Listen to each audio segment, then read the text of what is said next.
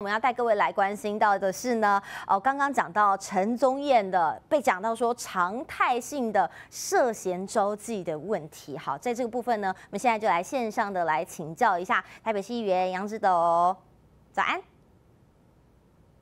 会员早安，各位观众朋友，大家早。是的，因为刚刚我们提到了这一次的事件哦，真的是让大家觉得说，哎，怎么回事啊？真的是让人呢觉得说啊，这个哦，真的是在整个民进党里面哦，要么呢涉黑啦，要么呢就是涉黄啦。在这部分呢，我们请直斗兄呢在线上帮我们稍作等候一下，帮大家呢来介绍一下这整个事情的来龙去脉。我们都知道现在有一个关键人物叫什么？叫豆哥。好，豆哥，我要找朋友，好，就知道这个暗号呢，就是要帮忙来找小姐了。好，这个部分除此之外。还有大家最近都很爱问的一句话，这个一问后就说小云，小云有空吗？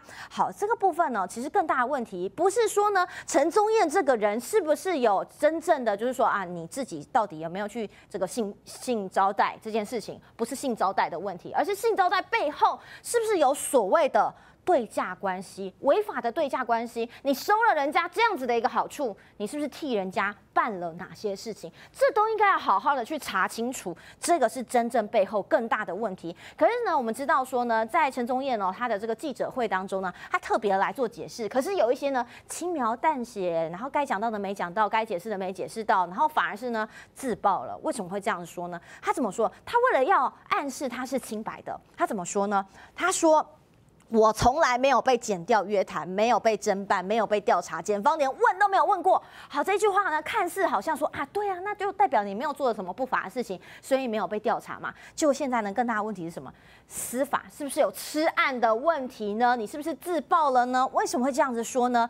因为这件案子哦，当初会被查到是怎么回事呢？是因为先查这个酒店业者嘛，啊，你是不是呢到处去呢，呃，给人家一些好处，然后叫人家瞧事情办事情。好，这件事情呢，查着查。查着查着，发现一号叫做陈董的人物，再查下去不得了，这个陈董呢，居居然是陈宗彦。好，在这个部分呢，当初就已经怎么样呢？一百零三年四月十四号的时候就说了，好，陈宗彦等人呢，好，这个涉嫌哦，是不是有违反贪污治罪条例？所以呢，希望啊，可以千分他案来续行侦办。好，所以要来。才请一个才是嘛，就说你来告诉我是不是可以这样子做呢？好，最后就说了，好啦，那这样子的话呢，因为上开案件呢，好，这个问题当中呢，已经提起公诉了，好，所以这个部分呢，要来针对此部分呢，直接来分他案续行来做侦办。但是呢，一年多之后查了什么？什么都没有查到。怎么说呢？这一次因为舆论的压力，好来告诉你了。这一次呢，台南地检署赶快发了新闻稿，告诉你说呢，好，我们因当初是因为哦查无具体不法啦，所以说呢这个案子呢就直接来结了，就没有了嘛。但是呢，现在好，那就赶快来再来另行分他案来做调查。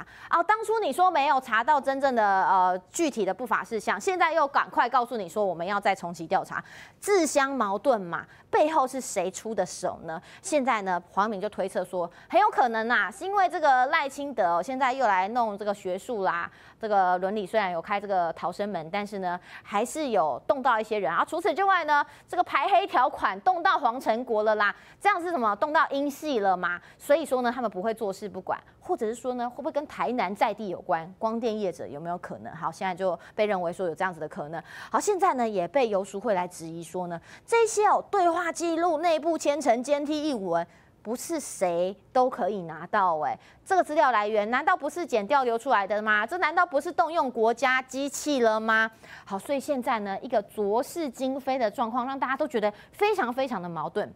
所以在这边呢，我们线上就要赶快来请教一下台北市议员杨志斗。好，在这边呢，刚刚我们已经打过招呼了。这边呢，我就直接来提问了，就是说刚刚提到了第一个这件事情是不是非常的矛盾？当初呢就已经轻轻放下了，结果现在呢又因为舆论的压力，马上又说要来调查，这个是要直接来做切割吗？好，再来就是说呢，当初。的事情，大家也很质疑，说这个背后他收了好处之后，是不是有帮人家做什么问事情？好，这件事情为什么要摆那么久，现在才拿出来？是不是因为呢？可能早就有人已经看好说啊，迟早这个赖清德会起来，所以呢，他的子弟兵曾经做了什么事情，证据就把他捏在手里，就是为了要等到现在这个时机点把它拿出来，然后希望可以阻赖清的路。在这边您怎么看？所以养这个案子其实也养蛮久的哈，十几年前的对话记录现在被爆出来，监听译文也都出来了哈。呃，养兵千日，我只能说是用在一时。那为什么是现在这个时机点？剑指着谁？我相信大家都很清楚，就是刚好我们民进党最近才开始啊，好像有壮士断腕的这个决心哦，赖清德全面扫黑，把黄成国等呃一般有呃涉黑的这些干部哦，全部扫出民进党。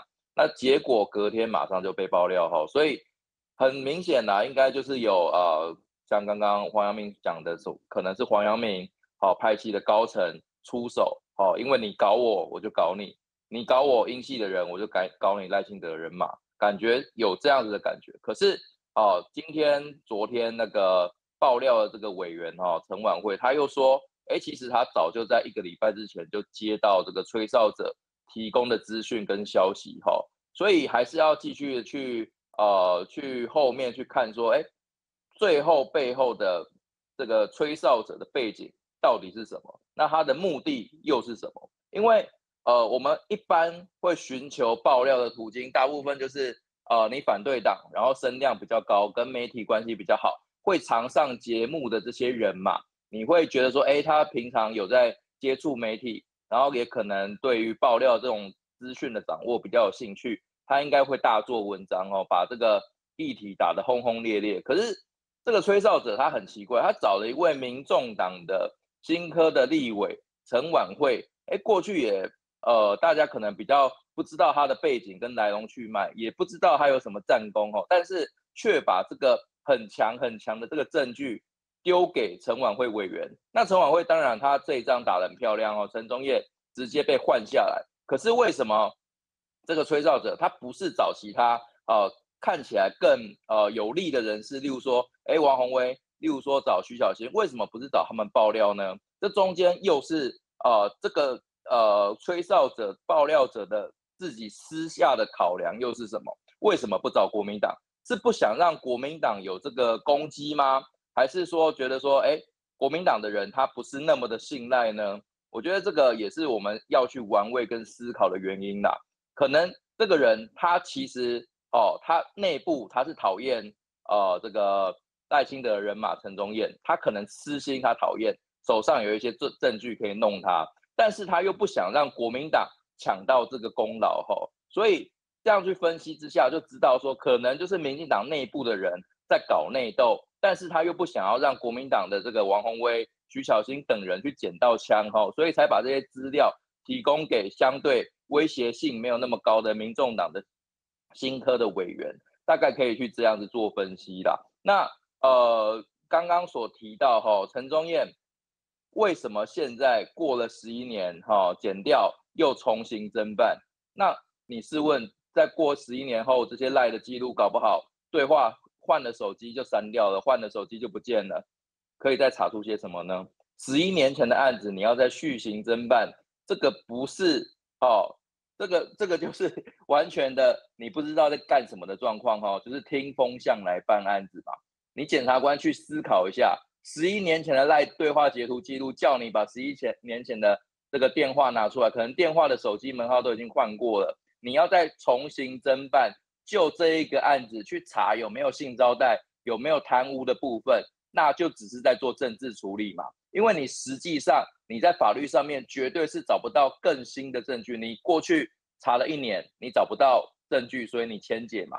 那你现在过了十一年之后，你奢望在呃可能。明年的总统大选之前，你有一个水落石出的结果，用正常人的头脑想也知道是怎么可能呢？你不会有新的案件嘛？所以现在做一个政治动作，说啊，我还要再继续调查，其实就是民进党政府现在去指示这些司法机关说，哎，你做个样子，证明我们有查案的决心，就跟赖清德一样啊，他好像去啊，针对黑金、针对学伦这些东西做处理哈。但是只处理到很表面的事情，让这个在野党的相骂本去减少，哈，减少未来政治攻防的空间，但实际上什么都没有做。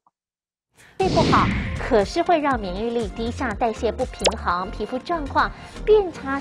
旺旺推出的梦梦水就是要解决大家烦恼的好帮手，白桃风味，酸甜好喝。也欢迎大家扫左下方 QR code 或是上快点购网站订购